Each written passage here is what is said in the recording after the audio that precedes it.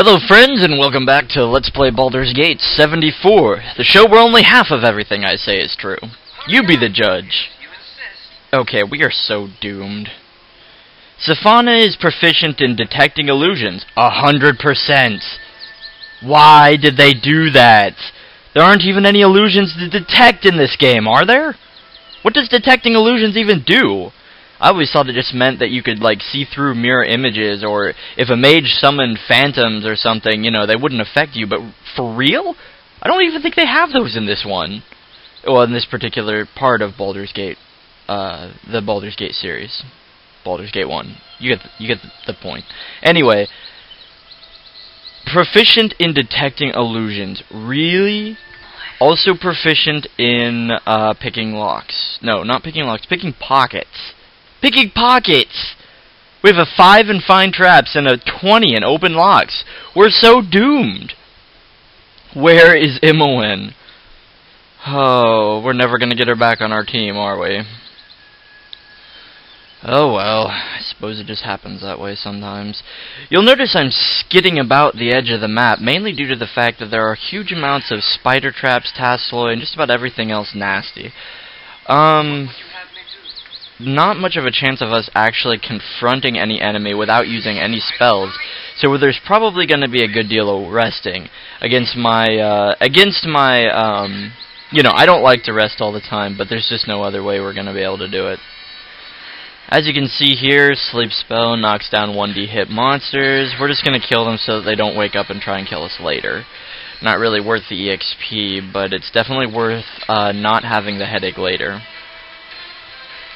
So yeah, a word to those, if I haven't already said it, to people who uh, want to play the game seriously and um, not screw up, uh, well, more like screw themselves over.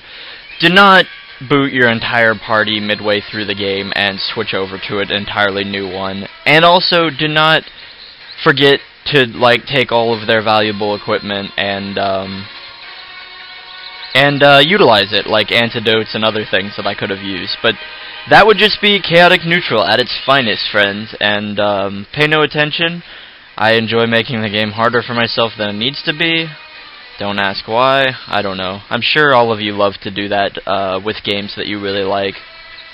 Uh, you know, who doesn't like to to take their favorite game and then crank up the well, people who like a challenge anyway, take their favorite game and crank up the difficulty. Uh, because it it almost creates a new game, a new adventure. Um, what are these? I don't know what they are, but they're gonna get horrified because I don't think a sleep spell really works on wolves. Okay, and that did not work at all. They're dread wolves, probably resistant to horrify. So, we're gonna run. Run, run, run. Actually, we need to find a way to fight them, because otherwise they're just gonna be chasing us through the entire map. Uh, I don't really like to use the blizzard, blizzard spell since it's so valuable, but I really don't see another way out of this other than summoning monsters, but I kind of want to keep that. I want to keep the uh, summoning monster, a few charges left in the summon monster um, wand just for later in the game. And are you serious? We don't need more monsters fighting us. You see the Tasloi coming from the north. We're going to play Ring Around the Rosie with uh, Safana here. Oh gosh, now we're going to play Ring Around the Rosie with Chezni. We're basically going to have to take turns until... Uh, well, until I figure out something to do. Safana can have fun assassinating the sleeping ones. Oh gosh, that is if the Dread Wolves don't attack her. Alright, we're gonna drop a fireball, I'd say about here. Maybe if we time it right, Safana can get out of the way. Yes! Flawless execution! That is the way to use a fireball spell. Bait the enemy and then uh, get your allies out of the way at the last second. You should be able to hit everyone. Takes a little practice because you have to eyeball how large of the radius you think the fireball spell is going to be, but you'll get good at it eventually. Oh man, these Dreadwolves just don't want to die. This is, I think, when the game gets fun. When you're fighting a difficult battle, um, not because of stats, really, because I hate I hate it when I'm looking at a fight and thinking, wow, the only way I can do better at this is if I level up. I like having options. I like being able to strategize and really pull out the stops. So that's what we're doing in battles like these. Um, kind of breaking the Infinity Engine a little bit by uh, cheesing the enemies by running around in circles, but you know, you do what you have to. Safana's almost dead, but the wolf turned his attention towards Chezni. We don't have any directly offensive spells right now. Uh, but we do have a Wand of Magic Missile, I think, which might just have the power to uh, finish this guy off. Uh, however, a couple hits from him, and uh, we might uh, we might be dead. So we're gonna try and keep our distance. Aha! Nope. And that's a good game on the Dreadwolves. Wow, that was kind of tough. Alright, well, let's get a quick save. No, enemies are about? No, they aren't. Quick save. What? There's a Tasloi somewhere. Oh. No! Stay away from Safana. I swear, if you kill her, I will never forgive you. That must have been that Tasloi that got morale failure. Okay. Now it's a good game. Quick save.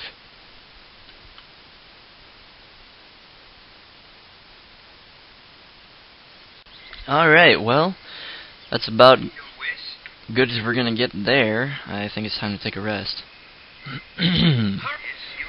Alright. Let's see if we can find something else cool around here.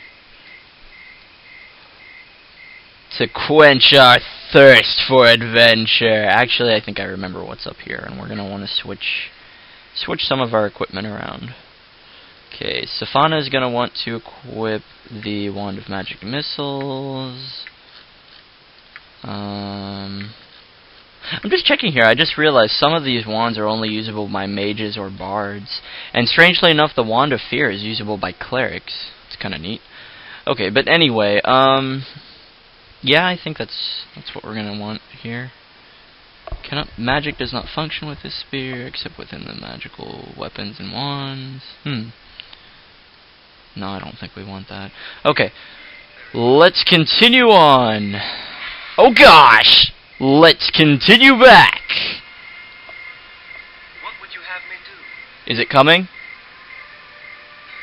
Is it coming to get us? Oh gosh, there it is. Okay. Go away!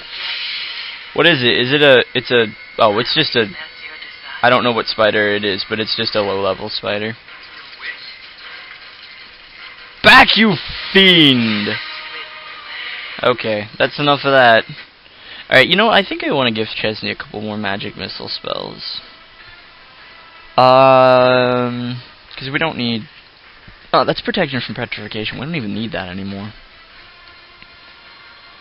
Yeah, I don't want to get rid of identification or charm person, though.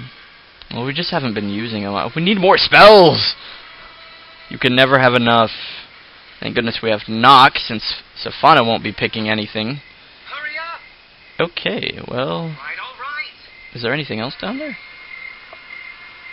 I'm just worried there's gonna be like a web trap or something. Oh gosh, more spiders. Alright, we're gonna run back a little ways and drop one of these right about there. And then we're gonna run like scared little forest elves. Ah ha ha! Explosion! Upon your doom! See if we can put them to sleep. Alright, easy pickings now. Why didn't I just do that in the first place? Now we're gonna have to rest again to get our spells back. Alright, well, that's where we're gonna end the episode here, friends. Um, when we pick up next, we'll be uh, exploring more of Cloakwood. Woohoo. Until then, friends.